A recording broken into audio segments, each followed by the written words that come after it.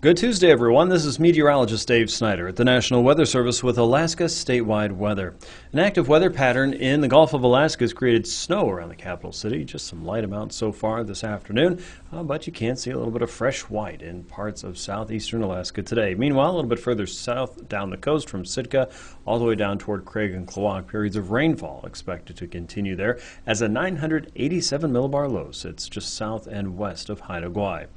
A little bit further north, it's cool and dry weather by and large for most of the central and western interior. Look for high pressure across the western Yukon at 1,021 millibars to keep things pretty settled down and tame.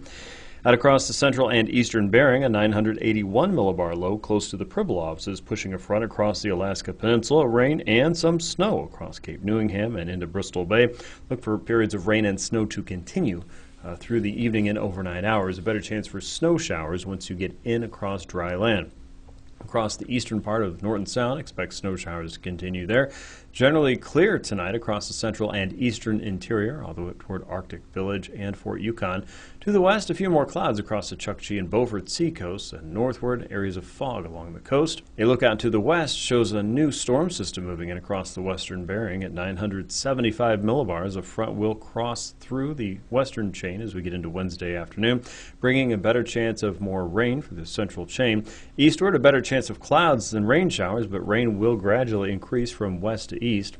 Unsettled across the Gulf from Kodiak Island across the northern and eastern Gulf with rain back into southeastern Alaska.